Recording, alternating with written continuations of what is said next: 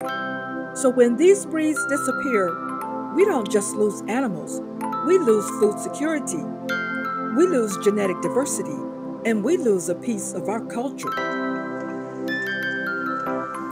Did you know that some of America's oldest cattle are living DNA banks? Heritage cattle aren't just history, they're our genetic insurance. So, what does this all mean? Here's the alarming truth our heritage breeds carry genes that could protect our future food supply. Welcome back, my friend. I want you to imagine standing in a pasture surrounded by cattle that once shaped the very foundation of American farming strong, resilient, and deeply tied to our history. But here's the heartbreaking part many of these breeds are disappearing. Right now, in 2025, we're losing living links to our agricultural past faster than most people realize. Let's start with the Randall lineback. This New England breed was once common on small family farms.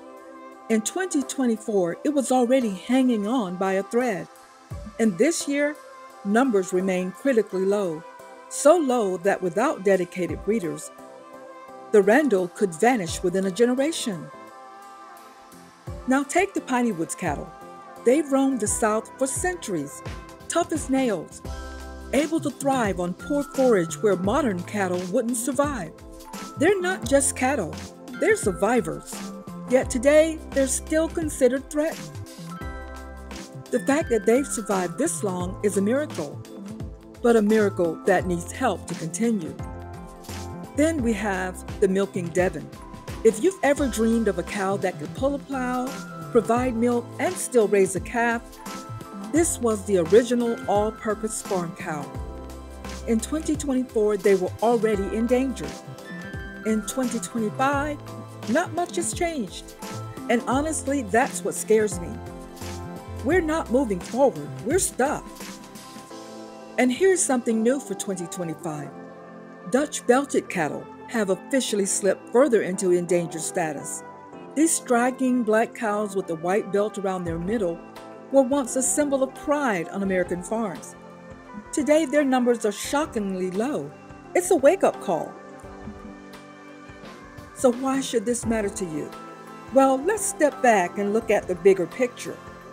When we compare 2024 to 2025, what we're seeing is not a sudden collapse, but a slow decline.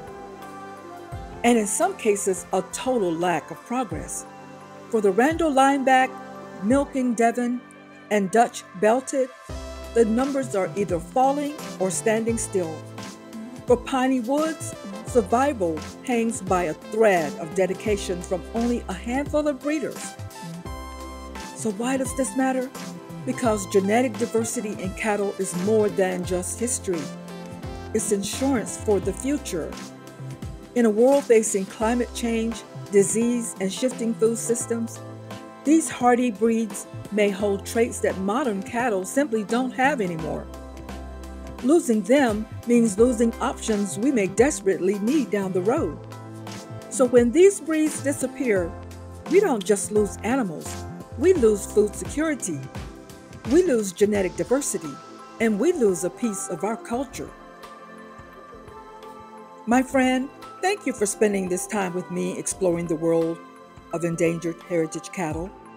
Thanks to people like you, many of our heritage livestock have been brought back from the brink of extinction because you cared enough to want to make a difference Please like and share this video to help get the word out to others who might not know about our looming heritage livestock crisis.